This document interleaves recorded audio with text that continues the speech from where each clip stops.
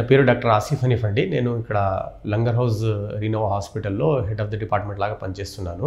ముఖాల నొప్పులు ఈ మధ్య చాలా ఎక్కువైపోయినాయండి. ఫార్టీ ఇయర్స్లో కూడా ముఖాల నొప్పి చాలామందికి ముఖాల నొప్పితో వస్తున్నారు సో దీనికి కారణాలు చాలా ఉంటాయి. సెడెంటరీ లైఫ్ స్టైల్ ఉండొచ్చు చేంజింగ్ ఫుడ్ హ్యాబిట్స్ ఉండొచ్చు చాలా ఉండొచ్చు. సో ఫస్ట్ నీ పెయిన్ ఏంటిది అనేది కొంచెం మనకు ఐడియా వచ్చేస్తే దానికి మళ్ళీ ట్రీట్మెంట్ కూడా ఈజీగా అర్థమైపోతుంది. యూజువల్గా ఆస్టియోఆర్థరైటిస్ అనే ఒక కండిషన్ ఉంది. ఇది age related degeneration of the knee joint.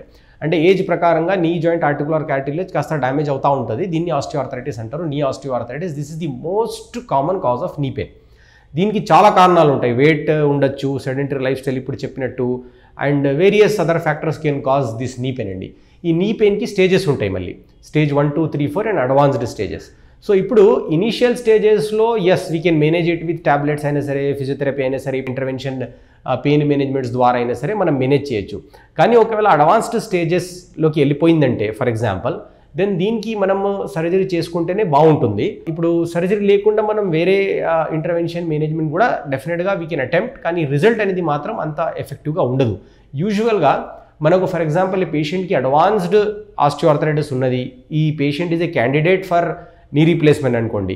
But still అలాంటి సిచ్యువేషన్లో కూడా patient is not willing for surgery and number two వచ్చేసి పేషెంట్ మెడికల్లీ ఫిట్ లేదు సర్జరీకి నెంబర్ త్రీ వచ్చేసి సర్జరీ అయిపోయింది but still patient is having some pain అంటే అప్పుడు ఒక రేడియో ఫ్రీక్వెన్సీ అబ్లేషన్ లాగా చెప్తారు. ఈ రేడియో ఫ్రీక్వెన్సీ అబ్లేషన్ ఏంటంటే మనకు ముఖాల దగ్గర నుంచి నరాలు ఇట్లా ఆ పెయిన్ స్టిములస్ తీసుకొని బ్రెయిన్ వరకు తీసుకెళ్తాయి అన్నట్టు. మనకు ఆ స్టిమ్యులస్ బ్రెయిన్ వరకు వెళ్తేనే మనకు ఫీలింగ్ వస్తుంది పెయిన్ ఉన్నట్టు. సో మనకు నీ జాయింట్ ఉన్న చుట్టుపక్కన నర్వ్స్ని ఆ పెయిన్ క్యారింగ్ నర్వ్స్ని మనం హీట్ ద్వారా డియాక్టివేట్ చేసేస్తాం అన్నట్టు. సో డియాక్టివేట్ చేసేస్తే ఆ మెసేజ్ ఆ pain message is not being carried to the brain so brain doesn't understand pain is really occurring or not అని. అంటే it's kind of a cheating pain అవుతుంది కానీ మనకు బ్రెయిన్కి తెలుస్తలేదు పెయిన్ ఉన్నట్టు. సో ఇది రేడియో ఫ్రీక్వెన్సీ అబ్లేషన్ అంటారు. ఇది కూడా మేము చేస్తాం. ఇప్పుడు చెప్పిన త్రీ కండిషన్స్లో అంటే అడ్వాన్స్ ఆస్టియోఆర్థరైటిస్ ఉంది రీప్లేస్మెంట్ చేయాలి but still patient is not willing or is medically unfit or for example post op residual pain ఉంటే ఇది చేస్తే మీకు ఒక వన్ ఇయర్ వరకు దాదాపు పెయిన్ యాక్సెప్టబుల్ కండిషన్లో రావచ్చండి.